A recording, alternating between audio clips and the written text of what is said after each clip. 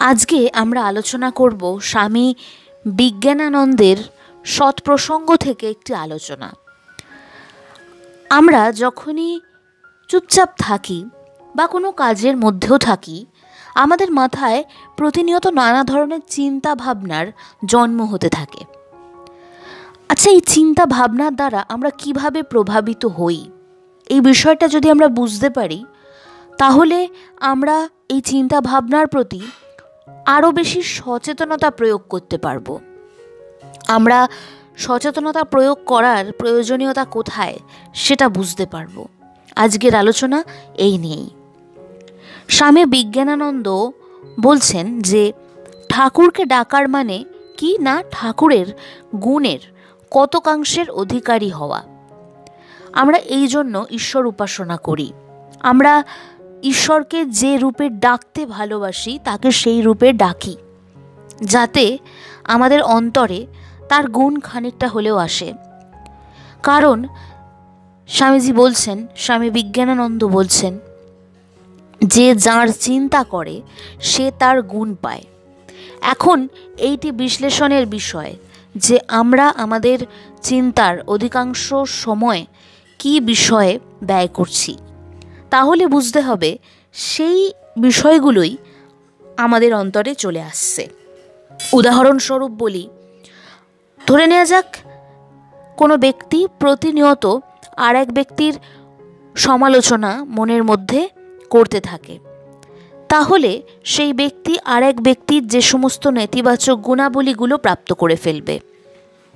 কারণ সে প্রতিনিয়ত অন্য একটি মানুষের খুঁত খুঁজতে ব্যস্ত। তার পুরোপুরি মনোযোগ অন্য একটি মানুষের ত্রুটির দিকে। তাই সে নিজের মধ্যে ত্রুটিকে নিয়ে আসবে। এখন কেউ যদি তার সমগ্র চিন্তা ভাবনা ঈশ্বর সংক্রান্ত করে ফেলে, তাহলে তার চিন্তায় সর্বতভাবে ঐশ্বরিক একটি প্রভাব তৈরি হবে। তো ঈশ্বরের প্রথম গুণাবলী কি? সেটা হচ্ছে প্রভুত্ব। বা লর্ডলিনেস তো ঐশ্বরিক ভাব মনের মধ্যে যদি জাগ্রত হওয়া শুরু হয়, অর্থাৎ আমরা যদি ঈশ্বর চিন্তা করি, তাহলে মনের মধ্যে সবার প্রথমে যা জেগে উঠবে তা হচ্ছে লর্ডলিনেস বা প্রভুত্ব। তাঁর চিন্তা করে আমাদের ইন্দ্রিয়াদির উপর পূর্ণ প্রভুত্ব পাওয়া চাই। আমরা নিজেদের প্রভু হব।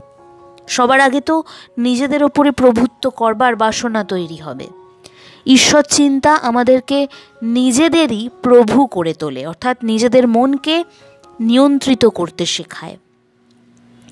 দ্বিতীয়ত, ঈশ্বরের ইচ্ছা মাত্রই কাজ হয়। আমাদেরও যা ইচ্ছা করব, তা কার্যে পরিণত করতে হবে। এইটি হচ্ছে ঈশ্বর ভাবের দ্বিতীয় কথা।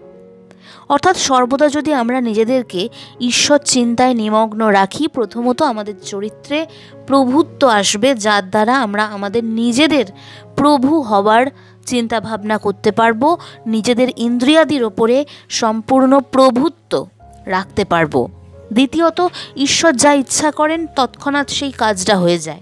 আমরাও নিজেদেরকে নিঃস্বার্থভাবে কর্মে ব্রতী করবার শক্তি পাবো ঈশ্বর চিন্তা থেকে।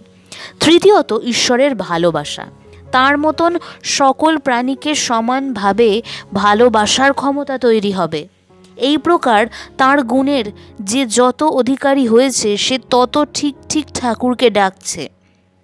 অর্থাৎ ঈশ্বরকে যত বেশি করে ডাকা হবে, তার অন্তরের যত গুণাবলী রয়েছে, পবিত্র গুণাবলী, সেই পবিত্র গুণাবলীগুলি আমাদের অন্তরে এসে বাসা বাঁধবে।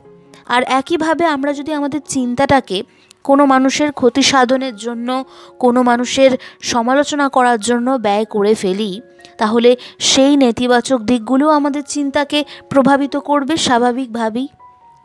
কোনো একটি মানুষের নিন্দা প্রতিনিয়ত করতে থাকলে সেই মানুষের নেতিবাচকতাটা আমাদের অন্তরে বসে যায়। আমরাও ধীরে ধীরে নেতিবাচক হয়ে যেতে শুরু করি। ঠিক এই জন্যই মানুষের দিকে মনোযোগ না দিয়ে অন্তরকে যদি ঈশ্বরের দিকে নিয়ে যাওয়া যায়, তাহলে আমরা মানুষ হিসেবেই আরও উন্নত হতে পারব। আমরা মানুষ হিসেবেই আরও সুন্দর হতে পারব। আমাদের অন্তরের যে ক্ষমতা, সেই ক্ষমতাকে আরও সুন্দর করে বিকশিত করতে পারব।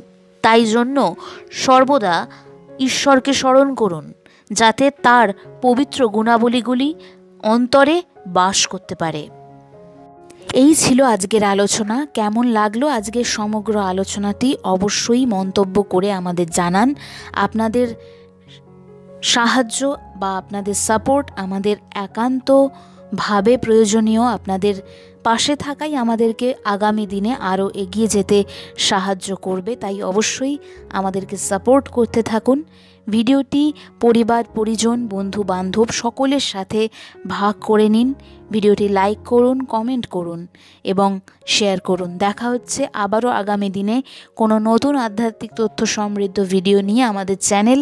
নানা ধরনের আধ্যাত্মিক তথ্য, আধ্যাত্মিক মাহাত্ম কথা, দেবদেবী ও উৎসবের মাহাত্ম কথা স্বামী বিবেকানন্দ, মা সারদা, শ্রী শ্রী রামকৃষ্ণ পরমহংসদেব এছাড়াও নানা ধরনের মনীষীদের কথা, আদর্শ নিয়ে আপনাদের সামনে হাজির থাকে। দেখা হচ্ছে আবারও আগামী পর্বে। ততক্ষণ ভালো থাকুন, সুস্থ থাকুন।